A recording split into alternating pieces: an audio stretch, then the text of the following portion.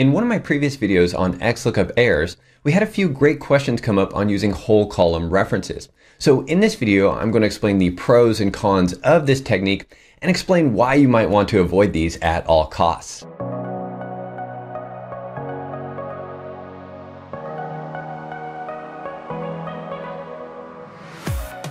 All right, so I'll first explain what a whole column reference is and why you might want to use one, and then I'll explain two reasons not to use whole column references as they can get you in trouble. So in this example here, this is the example we had from that previous video on XLOOKUP errors. And in that video, I explained one common error with XLOOKUP is when your lookup and return array ranges are different lengths. That will return an error or XLOOKUP will return an error when that's the case. And I explained uh, using Excel tables as one alternate solution. And that's where the question came up, well, how about whole column references? So what's a whole column reference? Well, in this formula below here, I have the same formula, but it's now using whole column references. As you can see for the lookup and return arrays, we're referencing the entire column here. So you can see column G is referenced. There's no row numbers here in this reference, so that means it's referencing the entire column. You can also see that down over here where Excel's highlighted all of column G. And in order to write this, uh, when you're writing the formula, I'll just go ahead and delete this here you can just select column G. You can just click on it, select it, and that's going to add the entire column reference here.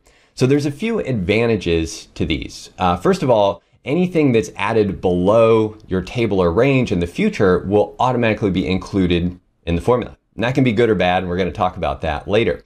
The other advantage is that both of the lookup and return array lengths will be the same length. So you don't have to worry about that range length error like I talked about in that previous video.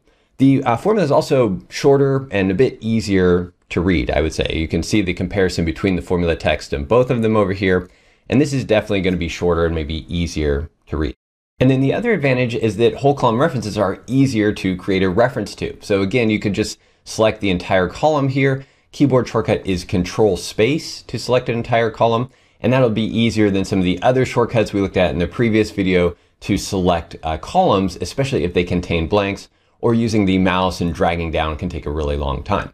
So those are some of the advantages of whole column references. They're also referred to as full column references or entire column references. All right, so now we'll look at two reasons not to use whole column references. The first reason is performance.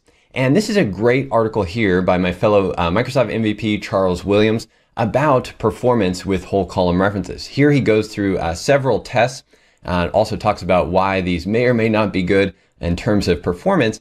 And as you can see here, it depends on the function. So some functions don't work well with whole column references. As he points out in this article, sum product is one of those. So if you're using sum product formulas often, you definitely don't want to use whole column references with sum product formulas. And also array formulas can cause issues. Uh, down here, he has this nice table that shows some of the results of his test. And as you can see, these pink and red cells uh, mean really long calculation times for these formulas. And it's based on just a test of 1,000 formulas. So I recreated a few of these for myself over here in Excel on this uh, sheet here. I have uh, the first test with the sum product formula. And in this column here, the first uh, column is using whole column references. Again, this is just 1,000 formulas here referencing all of column A. So you can see it's a very simple formula. And then over here, we have the same formula, but it's referencing 30,000 cells. So still uh, quite a bit of cells here, a big range, uh, but instead of the entire column, it's just referencing 30,000 cells. And here's the performance difference. So for the whole column uh, reference, the average calculation time is 15.5 seconds. Uh, whereas with the range reference, the average calculation time is 0.3 seconds. So massive difference here. And Excel just doesn't handle sum product with whole column references. So it's just really good to know that. Uh, another case here, I was using some of the new dynamic array formulas, and in this case, the filter function. So this is an array formula. When you use whole column references with array formulas like this, and in this case here, we're using the filter function, and you can see I'm referencing the entire column here and doing a filter on that. Uh, when you do that, this whole column reference uh, took 20.9 seconds to calculate. And again, that's 1,000 formulas copied down there. When you use a regular range reference there, uh, the calculation time improves to just one second. So again, a massive difference in calculation time here for a relatively simple formula here that's just uh, returning multiple results to a single cell using text join and filter. So now we'll look at the second reason to not use whole column references. And to me, this is the most important reason because it's the one that's got me in the most trouble when using them in the past. And I want to keep you out of trouble as well. So on this sheet here, I have a simple summary report and I have a few SUMIF and COUNTIF formulas that are using whole column references.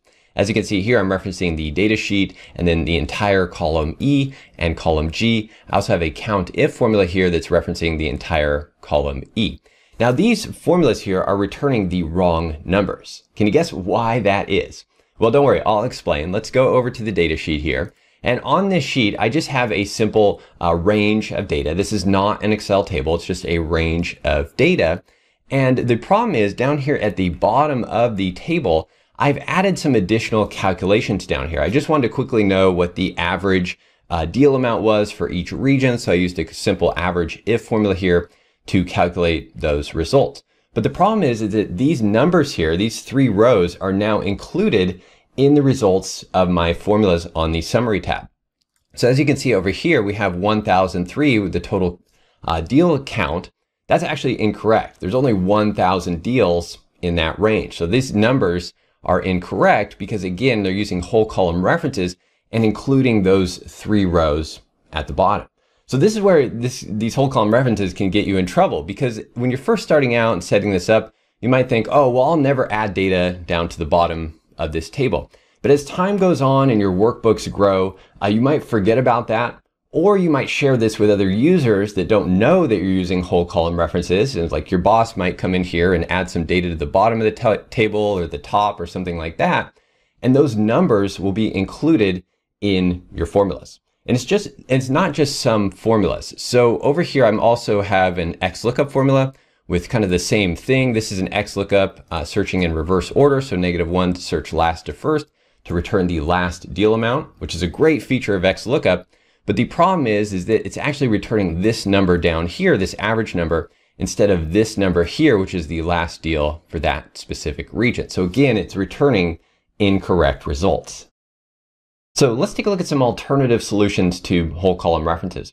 The first is Excel tables, and this is typically my preferred method when you can use Excel tables.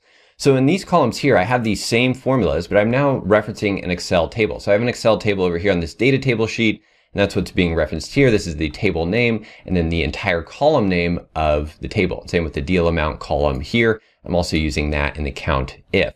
So over here on this sheet, I have an Excel table here, and an Excel table is nice because it's really like a container within a worksheet for your data. And you can reference the entire columns in the table and not have to worry about the data above or below the table being included as well. So I still have those average if calculations down here, but I don't have to worry about those or anything outside of the table here with my formulas that reference the table. And another nice part is that I can add new rows to the bottom of the table and that data will still automatically be included in the formulas because I'm referencing the entire column of the table. But again, I don't have to worry about data outside of the table. So I've talked about tables in the past. I have other videos on tables. I'll put links to those in the description below so you can learn more about using tables. But that's my preferred method over whole column references. Uh, another option is dynamic named ranges. So in this example here, again, I have the same formulas, but now I'm using a dynamic named range. And these are a little more advanced. I'll hit Control F3 to open the name manager here. And I have my named ranges here. So this is one for the deal amount column. This uses the offset function along with the count A function to count the number of used rows in a column and then uh, creates a range for that and it will automatically resize based on how many used rows you have. These can get you in trouble too, and they can be tricky if you have a lot of blanks in your data and things like that. So there's there's other methods to this as well for dynamic name ranges. This is just one particular technique or method. I don't use these as frequently. I'd much prefer to use Excel tables because they're easier to maintain and easier for others to understand as well. But I did want to mention dynamic named ranges. So that's the pros and cons of using whole column references. I've also listed all of those on this sheet here, and I'll make this uh, workbook available for free download. I'll put a link in the description below with some of the pros here. Again, just to, to wrap things up, Uh, the pros is that they're easier to select the entire column, especially if your cells have or your data has a lot of blanks in it. Uh, any new values added to the data set will be automatically included, which can be good or can be bad, as we've seen. And that the formulas are shorter and easier to read. Uh, the cons with whole column references, again, is that the performance can be slowed down depending on the function that you're using. A lot of functions are optimized for whole column references, but it will depend on the functions you're using, so be careful there. And as we saw, they can return incorrect results as well. So stay out of trouble with that. I don't want you producing any incorrect results due to whole column references. I've made that mistake in the past and I want to keep you out of trouble there.